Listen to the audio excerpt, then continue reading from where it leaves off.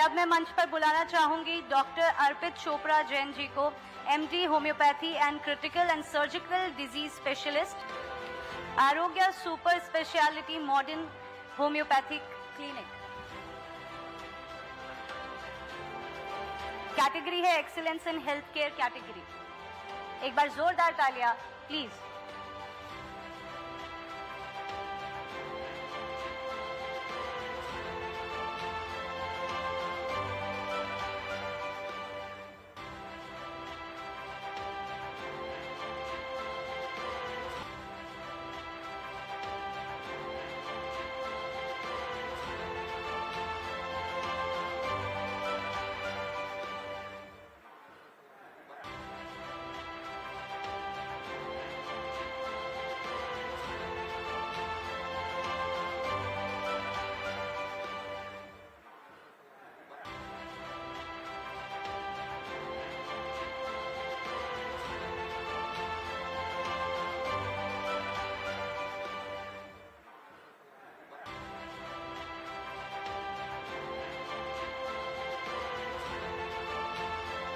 पूर्णिमा जी मैं आपसे रिक्वेस्ट करूँगी आप स्टेज पर रहें अगले पैनल के लिए। मैं आमंत्रित करना चाहूँगी हमारे अतिथियों को doctor Arpit Chopra MD homoeopathy and critical and surgical disease specialist please मंच पर आए। डॉक्टर अर्पित चोपड़ा मेरा सवाल आपसे। हमने एलोपैथी में सुपर स्पेशलिटी सुना है। आ, लेकिन आप ये बताइए कि आपकी क्लिनिक का नाम Arogya super speciality modern homoeopathy clinic क्यों रखा गया है? इसके पहले कि मैं इस बात का आंसर दूँ मैं ये बताना चाहूँगा कि मेरे घर में 19 एलोपैथिक डॉक्टर्स हैं। तो I had been specially sent homoeopathy sir भी मुझे जानते हैं करीबी हाँ। से क्योंकि मैं 20 साल से प्रैक्टिस कर रहा हूँ इंदौर में और सर का काफ़ी आशीर्वाद भी रहा है हमारे ऊपर। तो एक विजन था कि हम कुछ ऐसा करेंगे जो अभी तक मेडिकल साइंस की कुछ लिमिटेशंस थी उस पर काम करेंगे।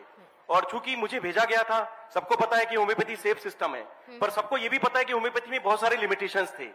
लिमिटेशंस थे इसलिए ऐसा कहा जाता है कि होम्योपैथी केवल बेसिक केसेस में काम करता है स्किन हेयर या बेसिक जो अ, हमारे मेडिकल साइंस के नॉर्मल केसेस हैं। पर अगर हम बात करें ऐसे केसेस पे जिसपे मेडिकल साइंस आज भी रिसर्च कर रहा है और रिसर्च की काफ़ी संभावना भी है जैसे कैंसर के स्टेज फोर के पेशेंट जिनको कीमोथेरेपी और रेडियोथेरेपी इवन सर्जरी के बावजूद भी फ़ायदा नहीं हो रहा है किडनी फेलियर के वो पेशेंट जो डायलिसिस करा रहे हैं, या एक तरीके से ट्रांसप्लांट के लिए मजबूर हो चुके हैं, या इवन ट्रांसप्लांट करा के भी फेल हो रहे हैं। कुछ ऐसे पेशेंट जो सर्जरी पर जाने के लिए बाध्य हैं, लेकिन सर्जरी कराने के बावजूद भी इस बात की कोई श्योरिटी नहीं की है सर्जरी उनके लिए, फिर से रिलैप्स होने की कंडीशन में आएगा या वापस आएगा कि नहीं आएगा? पेशेंट पूरी तरीके से ठीक हो पाएगा कि नहीं हो पाएगा? कुछ ऑटो इम्यून केसेस ऐसे केसेस जिसमें पूरी दुनिया अभी भी बहुत रिसर्च कर रही है, पर चूँकि बाकी मेडिकल साइंस में भी ये कहा जाता है कि इसका कोई इलाज नहीं होता है और आप इम्यूनोसप्रेसेंट या स्टेरॉइड देकर इसको केवल कंट्रोल कर सकते हैं। तो ये लाइलाज कैटेगरी के केसेस प्लस कुछ ऐसे पेशेंट जो हॉस्पिटल के कैटेगरी में जब हम सब प्रकार के कोशिश करते हैं इवन एलोपैथिक सिस्टम या सभी प्रकार के सिस्टम के फेलियर होने के बाद कभी कोई पेशेंट कोमा में चले जाए तो जब हम ईश्वर को याद करते हैं, ऐसे समय में भी अगर कुछ अलग किया जाए तो उस रिसर्च के लिए हमने अपना विजन बदला और होम्योपैथी जो सेफेस्ट सिस्टम है, उसको हमने फास्टेस्ट सिस्टम बनाने के लिए एक रिसर्च बेस्ड मॉडर्नाइजेशन कंसेप्ट प्रस्तुत किया जिसका नाम दिया मैंने सुपर स्पेशलिटी मॉडर्न होम्योपैथी और मैं क्यों ना इसे विजन ऑफ़ न्यू इंडिया के साथ जोड़ूं? Absolutely. इसी को विजन ऑफ़ न्यू इंडिया कहते हैं। हमारा पता है doctor Arpit Chopra Jain Arogya super speciality modern homoeopathy clinic Janjirwala Chauraha new Palasia Indore.